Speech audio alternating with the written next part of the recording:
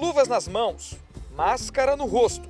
Tudo pronto para atender mais uma cliente. Procedimento do dia: micropigmentação em dermoleve.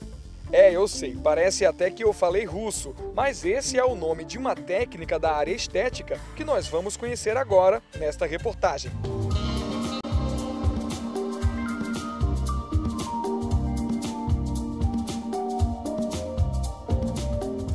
Micropigmentação é um procedimento invasivo que consiste na aplicação de pigmentos inorgânicos na segunda camada da pele. A técnica é utilizada na composição de sobrancelhas e dura de até oito meses a um ano para perder o efeito.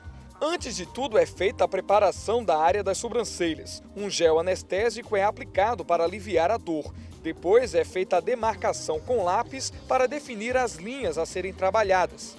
Camila atua na área há pelo menos 10 anos. Ela sabe a fundo cada passo que a agulha deve dar para que o resultado do trabalho seja do agrado do cliente. Dermoleve, como o próprio nome já fala, é suave, ou seja, para corrigir uma sobrancelha que já é boa ou até mesmo para construir aquela que não é.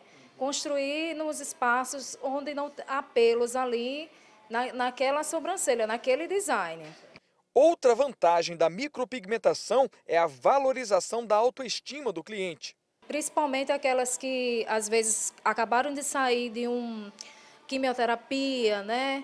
Que estão um pouco com a autoestima baixa. Então, existe muito esse tipo de, de pessoas que chegam procurando o nosso serviço para melhorar, porque a sobrancelha está no semblante do rosto, está na, na parte facial. E respondendo sua pergunta, o procedimento é feito com pigmentos inorgânicos, né, que a gente utiliza.